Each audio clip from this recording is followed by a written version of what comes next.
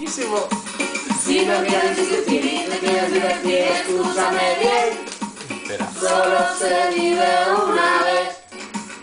Vale, os Apaga el televisor, que enciende tu transistor. Y siente las cosquillitas por los pies. Prepárate para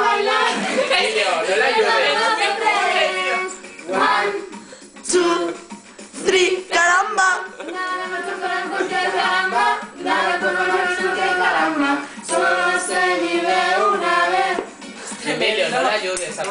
No te la presente. Ahí la grabar, coño. Es que es muy putre, tío. Es que no.